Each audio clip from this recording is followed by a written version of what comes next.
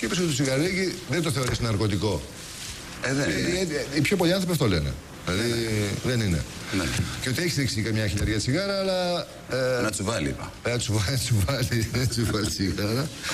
Το οποίο δεν το θεωρείς ας πούμε ότι ήταν και τίποτα βαρύ. Εγώ συμφωνώ μαζί σου το τσιγαρίκι δεν είναι και στις πιο πολλές πολιτισμένες Όχι χώρες του βαρύ, πλανήτη. δεν είναι ναρκωτικό. Δεν υπάρχει κάπου κάποια κλινική να απεξαρτηθείς από το τσιγαριλίκι.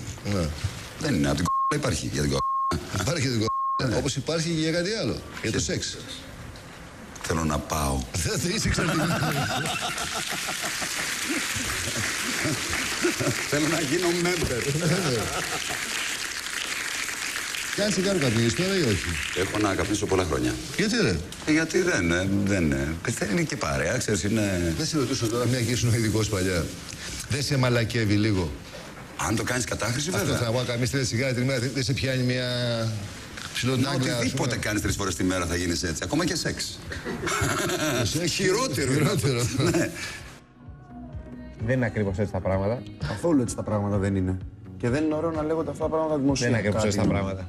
Εγώ δεν αμφισβητώ την, ε, ε, το πόσο, τη δουλειά του και το πόσο καλό είναι σε αυτό που κάνει και μάλιστα τον είδαμε και με το Ρέμο. Είναι, πο- ε, κάνουν- έχουν πολύ πρόγραμμα